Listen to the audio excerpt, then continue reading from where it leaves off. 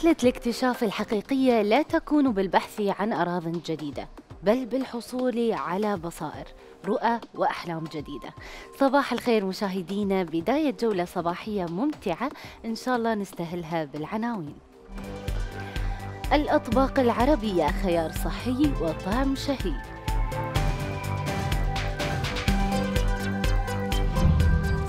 الكيك بوكسينج من تفريغ الغضب لإنقاص الوزن.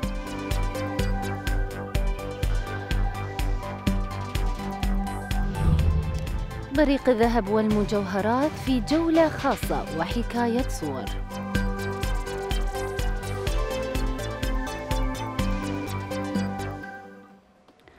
لاتباع نظام غذائي سليم ومتوازن أو رغبة في إنقاص الوزن اتجه البعض لتجنب الأكلات العربية التقليدية واستبدالها بصدور الدجاج المشوية والخضار المسلوقة والأرز المبخر. ولكن هل بالفعل هذه الخطوة ضرورية للوصول إلى النتائج المرغوبة؟ الإجابة مع الشيف مصطفى عبد المجيد. حياك الله ويانا شيف مصطفى. أهلا بيك ابتهال أهلا بيك شخبارك؟ أهلا بالمساعد المشاهدين وصباح الخير عليك. صباح الخير عليك وعلى الجميع. إذا السؤال الشيف مصطفى. أها. هل بالضرورة أن إذا شخص يبى يتبع حمية غذائية صحية تمام. آه، يتجه للأطعمة الباهتة أوكي. آه، والأطعمة اللي فقط مشوية خالية من البهارات وما إلى ذلك؟ هو بالطبع لا يعني مش ضروري الموضوع وبينعكس على كده أقرب مثال أنا مثلا أنا بحب كل الأكلات صراحة. نعم. الأكلات العربية والغربية وكتير باكل الأكلات العربية طبعا. بس أنت فيك ممكن تاكل كل الأكلات حتى لو كانت دسمة بس بكميات بسيطة. المطبخ العربي عندنا فعلا زي ما انت قلتي هو فعلا غني بال- بالبروتينات وال- والنشويات وغيره وغيره وغيره. بس فينا إن إحنا نتبع حمية معينة أو طريقة معينة في الطهي بتختلف عن ال- عن الطهي التقليدي. نستبدلها بأشياء تانية.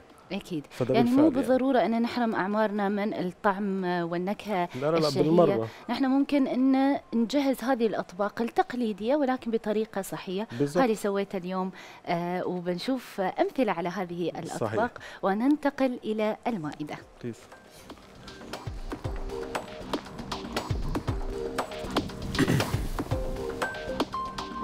إذا هنا هذ في هذه المائدة هنالك المقبلات وأيضا الطبق.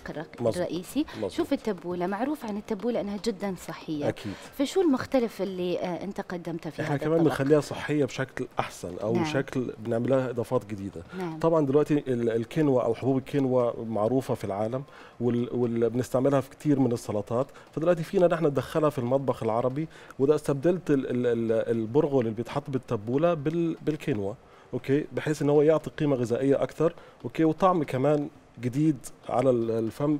في بعض الناس ما بتحب البرغل okay فيك تستبدله بأشياء ثانية نعم. okay. آه، وهنا أيضا يعني استخدمت الحامض وما إلى آخره في التتبيل. مظبوط صحيح؟ أكيد طبعا هي صحية 100% يعني مهم. فيك كمان تستبدلي البقدونس اللي إحنا معروف بالتبولة بنبات الكيل مثلا. أوكي نعم. الكيل فيك إن أنت تفرميه كمان وتخلطيه مع البقدونس أو تضيف عليها بعض ال- ال- الخضروات الثانية مثل ما تحبي. فيك إن أنت تبتكري في المطبخ على حسب ما أنت بتحبي وفي الآخر بتكون بعدها اسمها تبولة. نعم. نفس التتبيله نفس الطعم نفس الشكل بس بأذواق مختلفة. إذا في هذه الحالة نحن ممكن نستبدل البرغل بالكينوا. وأيضا ممكن نستخدم الكيل. بالضبط. وأيضا ممكن حتى أصبحنا نشوف ناس تضيف الجوز على مظبوط. التبولة صحيح بعض أو الرمان. مظبوط. نعم صح. الر- الرمان فيك تحطيها يعني حتى لو اتكلمنا أكثر على على الكينوا يعني حتى فيك تستبدليها بالرز. يعني حابه تعملي مثلا محشي ورق عنب فيك تستعملي الكينوا بدل الرز بتكون عاملة محشي أوكي الوجبة الدسمة اللي الكل بيعرفها وفي نفس الوقت بتاكليها بشكل صحي. صحية. إذا الكينوا ممكن تستبدل آه، أغلب النشويات الموجودة في الأطباق العربية. ده صحيح ده صحيح, صحيح. ومن ثم الحمص. الحمص من أكثر المقبلات المشهورة مو فقط في العالم العربي وإنما في العالم. أكيد. آه وشو سويت مختلف في هذا هو الطبق؟ طبعا ال- أنا جبت الحمص التقليدي على أساس إن إحنا نحكي أو نفهم السادة المشاهدين إن أنت فيك تروح بيه لأبعد مدى نعم. يعني فيك إن أنت تضيف عليها مثلا الشمندر أو البنجر بيقولوا عليه في الدول العربية فيك نعم. تضيفيها عليها ال- الافوكاتو فيك كمان تخلطي البقدونس كمان وتعمليها في نبات الكيل كمان فيك كمان تفرميه في الخلاط أو حتى فرم باليد وتضيفيه عليها بيضيف لك عليها آه، نكهة وقيمة غذائية أكبر. إذا ممكن نقول المقبل هذا الطبق الحمص هو طبق مثالي ما يحتاج إلى تغيير أو تعديل 100% ولكن ممكن ننوع أكثر بإضافة إضافة مثل ما قلت البقدونس أو بالضبط. الشمندر. أو فيك تعمليه وجبة رئيسية كمان يعني فيك إن أنت تعمليه وجبة رئيسية إن أنت تضيفي عليه آه، آه، مزيج من الخضروات نعم. okay؟ كمان ممكن تشوي دجاج أو تشوي لحوم okay؟ وتضيفيها عليه بي- بي- بيعطيكي وجبة غذائية متكاملة. بالضبط وزيت نعم. الزيتون كمان بيعطي. قيمة غذائية أكبر. ومصدر غني بالبروتينات. مزبوط صحيح. ومن ثم الطبق الرئيسي. نشوف الم- المقلوبة طبق المقلوبة. بالضبط. يعني أنا النهارده اخترت طبق المقلوبة بحيث إن آه، أول ما تقول مقلوبة خلاص. يعني معناها إن ال- ال- ال- الخضار كله مقلي. ال- الدجاج نفسه بيكون دسم. نعم. okay؟ بس هنا عملناها بشكل مختلف كتير. اولا استعملنا الرز ال- لون الرز هنا مش بس عشان التوابل لا لون الرز هنا كمان جاي من ال- ال- استعملنا الرز الأسمر. نعم. بدل الرز البسمتي العادي أو حتى الرز المصري اللي بي بي- معروف بالنشويات اللي فيه الأكبر okay؟ فاستعملناها بال بال بالرز البني.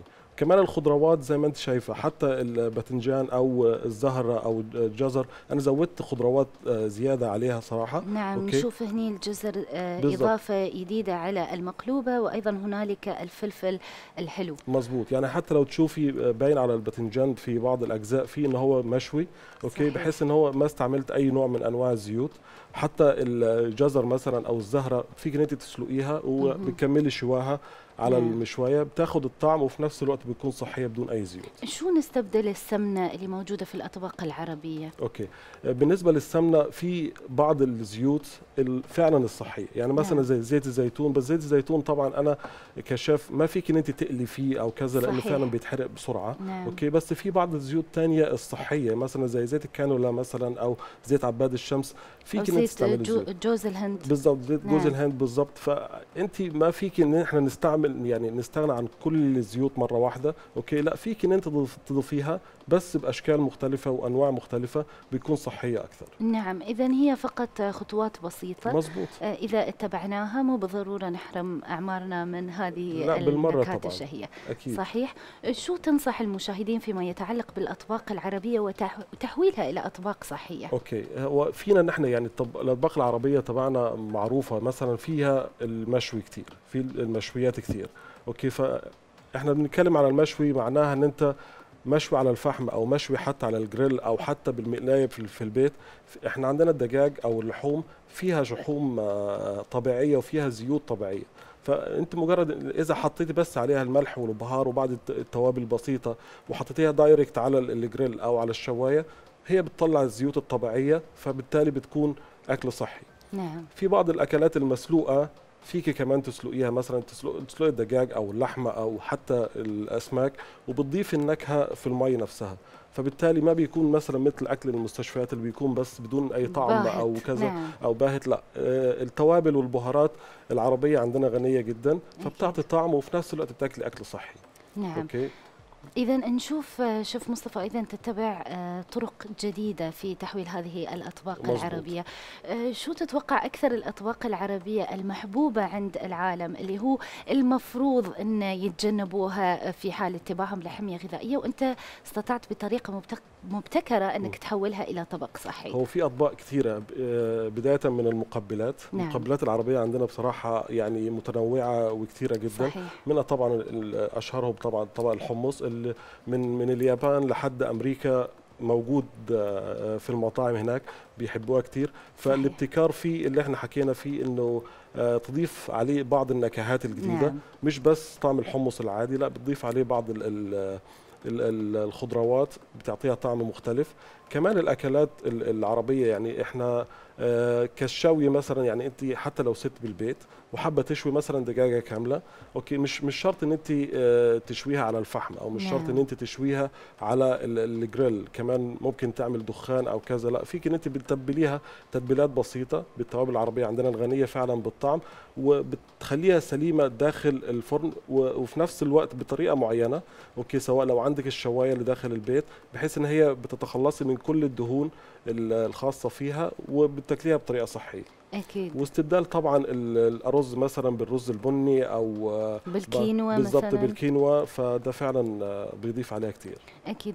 نشوف أيضا آه، بعض الأشخاص اللي يحاولون إنه يحولون الأطباق العربية إلى أطباق صحية ولكن ما يستسيغها خصوصا الأطفال. يعني يحبون السمنة يحبون الدسم مزبوط هذه الأطباق العربية. فكيف إنه ممكن نحن نستبدل ال ال يعني دسامه. أو النكهة الغنية اللي موجودة في الأطباق العربية بطريقة صحية بدون ما أن نمس بمذاق مذاقها اللذيذ في في في حتى في في الأسواق الحين في بعض ال- ال- المنتجات اللي مثلا بتلاقيها قريبة من من طعم الزبدة نعم. قريبة من طعم الزيت أو قريبة من طعم السمنة okay؟ ففينا نحن بنستع- بنستبدلها فيها بحيث إن هي تديكي نفس الطعم وكمان بيكون قليلة في الكوليسترول وما ما بتفقد الطعم عند الأطفال بيضلوا يحبوها okay؟ وبتضل طعمها طري طيب يعني.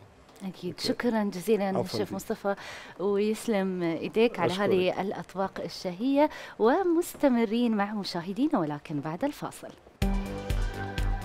الكيك بوكسينج من تفريغ الغضب لإنقاص الوزن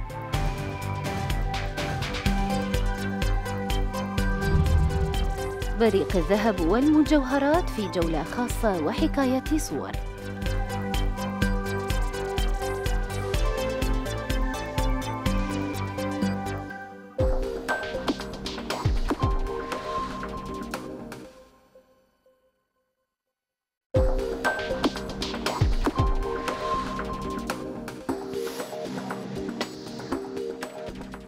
بوكسينج أو الملاكمة من رياضات الدفاع عن النفس الشائعة ويفضلها الكثير من الناس. ولهذه الرياضة فوائد عديدة لصحتنا منها تحقيق تناغم بين أعضاء الجسم بناء كتلة العضلات وتقويتها فقدان الوزن وغيرها من الفوائد التي نتعرف عليها في التقرير التالي.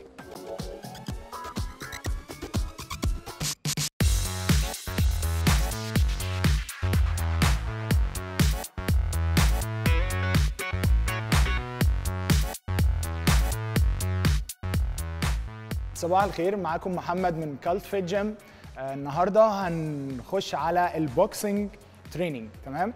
فلو انت ما عملتش أي boxing قبل كده أو بتكون بتعمل boxing قبل كده وبقالك فترة ما بتلعبش فممكن تقدر تعمل ال boxing في البيت تمارين ال boxing في البيت وتقدر تعملها في الجيم كمان. طبعا أنتوا بتسألوا ليه أنا رابط إيد والتانية لأ تمام؟ okay طيب أنا ليه بستخدم ال hand wrap أو ال bandage بمعنى أصح ده طبعا بيحمي ال wrist بتاعي إن لازم في ال boxing في ال punches بتاعتي لازم يكون ال wrist بتاعي نفس الخط بتاع دراعي كله تمام؟ فلازم أكون رابط إيدي وألا هيحصل لي إصابة في ال wrist فده دايما للأمان بتاعك تمام؟ فما تكونش ابدا تروح تعمل أي boxing من غير ما تستخدم ال hand wrap بتاعك okay؟ فهنشوف دلوقتي إزاي بنقدر نحمي إيدينا. في في طبعا كتير جدا أشكال إن أنا إزاي أربط ال hand wrap بس خلينا نروح لل beginners إزاي تقدر بسهولة بكل سهولة نبتدي دايما من على ال wrist من تحت لفتين لثلاث لفات okay؟ وبعدين بطلع على الجزء بتاع إيدي من فوق كف إيدي من فوق نفس الكلام اتنين لثلاث لفات وبعدين ببتدي أرجع على ال wrist بتاعي بحيث إن أنا أقدر أكون خليت الجزء بتاع ايدي من فوق هو هو نفس الجزء اللي في ال wrist من تحت بيكون على نفس الخط فأنا بقدر إن أنا كده بالشكل ده أقدر أحمي ايدي من أي إصابات إن أنا هقدر أعملها على ال boxing تمام؟ مش لازم تعمل لفة professional لأن طبعا ال- ال- ال- اللفة ال professional بتكون أقدر إن أنا أدخل ال- ال hand wrap من خلال صوابعي. لا، والكلام ده طبعا زي ما قلنا باللفة دي بتكون للناس ال beginners فلو أنت professional طبعا اللفة دي مش هتنفع معاك. أوكي؟ طيب بالنسبة لل boxing إيه لو أنا ببتدي أعمل boxing لو أنا عملت boxing قبل كده أو ما عملتش boxing قبل كده ألف ب boxing بيكون ال footwork بتاعك. إزاي بتحرك على الأرض؟ ده أهم شيء موجود عندك في ال boxing تمام؟ فلازم تتعلم إزاي أكون بتحرك على الأرض لازم يكون جسمك يبقى خفيف. فده إزاي أقدر أنمي ال skills بتاعتي؟ باستخدام الحبل أوكي؟ ده يكون basic جدا معاك إزاي أقدر أنط حبل. طيب هنفترض إن أنا بعرف أنط حبل فطبعا لازم يكون الحبل المفروض معاك. أنت بتخلي الحبل يعدي من تحت جسمك بيكون على دايما مشط رجلك من فوق بالشكل ده. لازم بنفس الأداء ده كده أنا ببتدي أعمل warm up لل boxing بتاعي وبشتغل مفيش مشكلة خالص. ده بينمي معايا ال skills طبعا على ال footwork إن أنا أقدر أشكل بأي شكل. طيب هنفترض إن أنا ما بعرفش أنط حبل خالص يا coach المفروض إن أنا أعمل إيه؟ بتجيب الحبل تمسكه بإيد واحدة وبنفس الأداء بشتغل بالحبل المفروض وإن أنا دي ك beginner خالص ممكن إن أنا أنمي ال skills بتاعت الحبل بتاعتي. وأهم حاجة تركز وأنت بتعمل الحبل يكون ال timing بتاع سحب الحبل من تحت رجلك وتحاول تعلى بجسمك لفوق شوية فده هيساعدك جدا في ال skills بتاع الحبل. once إن الحبل بقى معايا سهل في الحالة دي ال footwork بتاعي جميل. ممكن أشتغل في الحبل بشكل rounds يعني ممكن أعمل 30 ثانية stop أريح 30 ثانية أريح لحد ما ال skills بتاعتي في الحبل هتعلى. وفي الحالة دي بتكون أنت بتقدر تتحرك على الأرض بشكل سهل. okay؟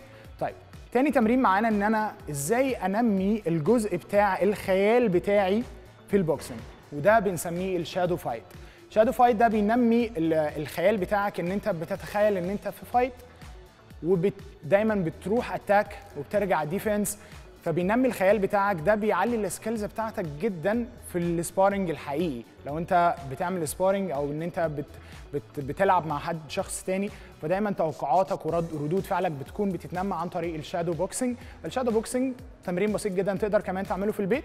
بالشكل ده ان انت إيدك قدام بتحمي دايما الجزء بتاع ال- ال chin اللي هو الجزء بتاع الدقن من هنا علشان هو ده أهم جزء مسؤول عن ال boxing تمام؟ okay. طيب من هنا إن أنا بقدر أتحرك بالشكل ده shadow fight بتخيل إن في واحد قدامي وأنا ببتدي ألعب معاه.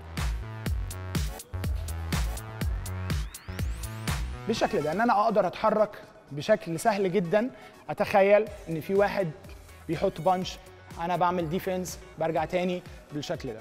تمام؟ فال shadow fight هيعلي معاك الخيال وتوقعاتك في ال sparring الحقيقي.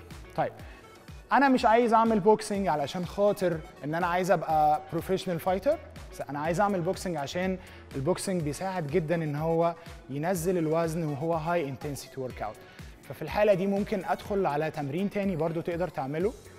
حاجة اسمها speed punches إن السرعات ال punches السريعة. تمام؟ ده بيعلي ال heart rate بتاعك وبيخليك تحرق دهون في وقت قصير. ممكن أشتغل عليها rounds زي ما قلنا برضو في الحبل. إن أنا أشتغل 20 ثانية واريح 10 ثواني أو 30 ثانية واريح 10 ثواني بالشكل ده ده هيساعدني إن أنا ال fitness level بتاعك بيعلى وبتقدر تتنفس بشكل سريع. ففي الحالة دي بتقدر تحرق دهون أكتر. طيب خلينا نشوف بنعمل ده إزاي. طبعا لازم بيكون في إيدك gloves لازم بتحط ال gloves في إيدك طبعا.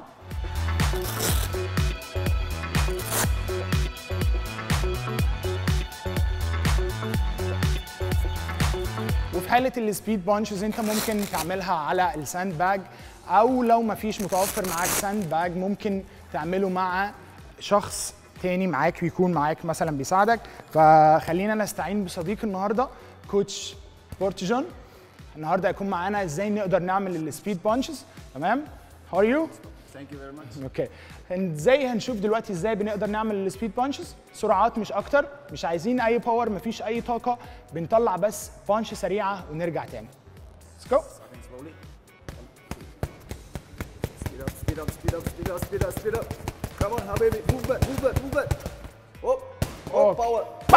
Thank you. Thank you. زي ما شفنا إن أنا بقدر أعمل ال speed punches بالشكل السريع ده ففي الحالة دي لازم تركز على إزاي بتقدر تتنفس أثناء ال punches وإلا ما يقدرش إن أنا ما أقدرش أعمل ال speed punches وأنا كاتم نفسي ففي الحالة دي الأكسجين هو الفيول بتاعك. الأكسجين هي الطاقة بتاعتك في خلال أي تمرين في high intensity workout في الحالة دي اللي مش هتقدر تتنفس. لازم تتنفس بشكل سريع. inhale بشكل اكسجين املى صدرك جوه وفضي بالراحة. ريح عقلك واتمرن بشكل تمام. أتمنى أكون إن أنا غطيت الجزء بتاع ال boxing في إزاي أقدر أحرق بيه دهون أو إزاي أقدر إن أنا أبتدي من مرحلة beginner لمرحلة advanced حتى لو بتمرن لوحدي من غير مدرب. وفي الحالة دي هكون أنا مستعد إن أنا أدخل على level أعلى. أشوفكم المرة الجاية. bye bye.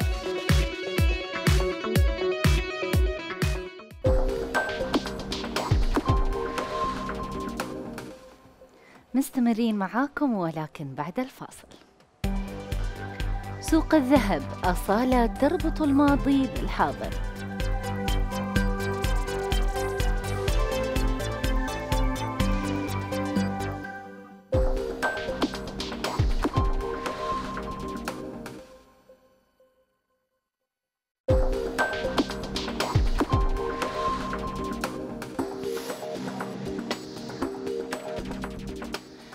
كبيرة لسوق الذهب في دبي فموقعه الاستراتيجي المميز قبالة ضفة الخور منحته إضافة بارزة على خارطة السياحة والتجارة. الأمر الذي أدى إلى إطلاع الباعة على مختلف الأذواق في عالم الذهب والمجوهرات.